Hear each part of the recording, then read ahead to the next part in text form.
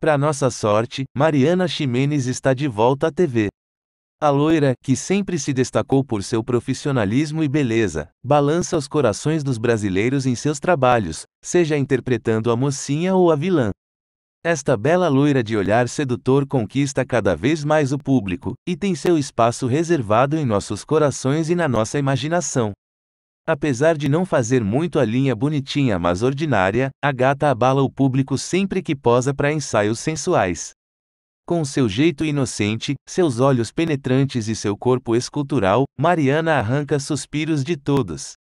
Esta maravilha de mulher já caminhou pelos meus sonhos, e com certeza é um verdadeiro desejo de qualquer um. Esta mulher com certeza é a personificação do chocolate com pimenta. E você, o que acha de Mariana Ximenes? Diz aí nos comentários. E não se esquece de se inscrever. Assim você não perde os próximos vídeos. Um grande abraço e até mais.